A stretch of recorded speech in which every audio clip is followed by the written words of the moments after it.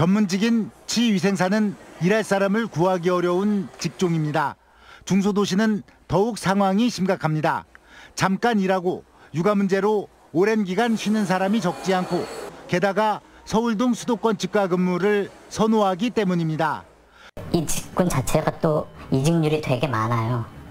한 곳에서 일단 다른 곳으로 옮기는 것도 정말 쉽고 일단 워낙 구하는 데가 많이 있으니까 그런데 청년 내일 채용 공제가 등장하면서 동네 치과나 의원들은 구인난이 더욱 심각해졌습니다.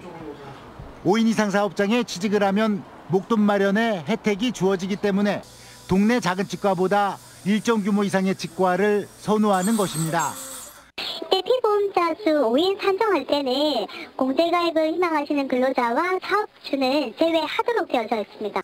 뜨문뜨문 구직 문의가 와도 공제 대상 사업장이냐가 제일 먼저 묻는 근무 조건이 되면서 심각한 구인난에 빠지게 된 것입니다.